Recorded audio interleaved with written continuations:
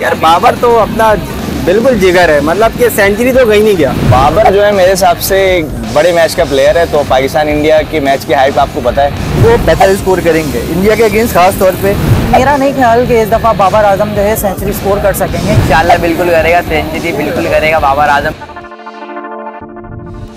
बाबर आज़म के बारे में क्या कहेंगे बाबर आज़म एक बड़े बैट्समैन भी हैं कप्तान भी हैं तो इंडिया के मैच में कितनी ज़िम्मेदारी होगी और इसका लगता है कि सेंचुरी स्कोर कर सकेंगे बाबर आज़म एक बहुत अच्छा प्लेयर है पाकिस्तान का। बहुत स्टाइलिश प्लेयर और बड़े मैच का बड़ा प्लेयर है।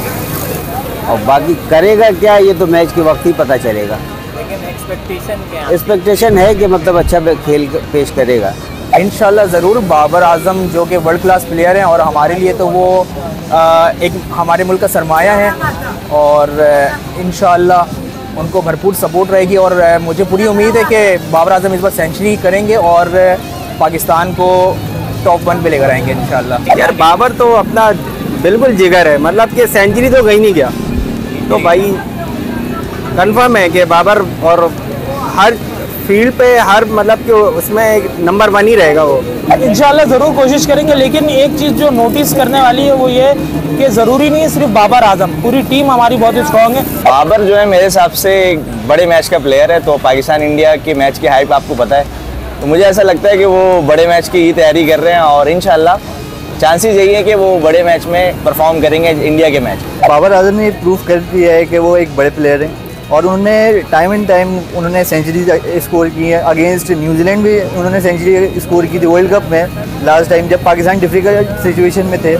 तो इस टाइम भी हम एक्सपेक्ट कर रहे हैं उनसे कि उन्होंने जो है, वो वो बेहतर स्कोर करेंगे। इंडिया के अगेंस्ट खास तौर पे, क्योंकि हमने हमेशा देखा है कि जब डिफ़िकल्ट सिचुएशंस आती हैं, तब प्लेयर्स हमारे जो है ना, वो बेहतर परफॉर्म करते हैं। मेरा नहीं ख्याल कि इस दफ़ा बाबर आज़म जो है सेंचुरी स्कोर कर सकेंगे, क्योंकि वो फॉर्म नज़र नहीं आ रही क्योंकि अभी पिछले मैच में अफ़गानिस्तान के साथ जो वनडे मैच हुआ है उसमें उसमें भी उन्होंने इतना ख़ास परफॉर्म नहीं किया। तो मेरा नहीं ख्याल कि इस दफ़ा वो ट्वेंटी से थर्टी से ऊपर इससे इससे ज़्यादा एवरेज नहीं होगी उनके रन टाइम्स ऑफ़ कराची से जुड़े रहने के लिए हमारा चैनल सब्सक्राइब करें।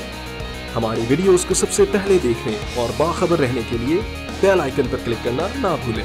इंशाल्लाह बिल्कुल करेगा सेंचुरी बिल्कुल करेगा बाबर आज़म भी रिजवान भी। देखिए बाबर आज़म का इस दफ़ा अल्लाह के चल जाए तो बहुत अच्छी बात है और अगर नहीं चला तो फिर तुम मचाले लेकिन कोशिश बाबर आज़म को करनी चाहिए कि इन अपना बैच दे। हमारी दुआ तो यही है कि बाबर हर मैच में सेंचुरी करे लेकिन अब उसके आउट होने पर दिल कम धड़कता है क्योंकि नीचे मौजूद हैं बल्लेबाज। और अब एक नहीं बल्कि शायद बाबर आज़म ने हर खिलाड़ी को बाबर आज़म बना दिया है। बाबर आज़म की तो पूरी कोशिश होगी कि वो इंडिया के खिलाफ लाजमी सी बात है। एक राइवलरी चलती हुई आ रही है पिछले से कि इंडिया और पाकिस्तान के लोग खेलते हैं और उनके मतलब पूरा एशिया कप तकरीबन उसी के ऊपर डिपेंड होता है कि इंडिया और पाकिस्तान का कब मैच हो और क्या कहते हैं कब बाबर आज़म अपना परफॉर्मेंस दिखाएँ एज अ कैप्टन भी और एज अ बैट्समैन भी। बाबर आज़म के स्ट्रोक के हवाले से क्या ही कह सकते हैं? बाबर आज़म सेंचुरी स्कोर करेंगे और बताएँगे भी सबको फिर एशिया कप वर्ल्ड कप सब में बताएँगे और इन जीतेंगे भी सिर्फ़।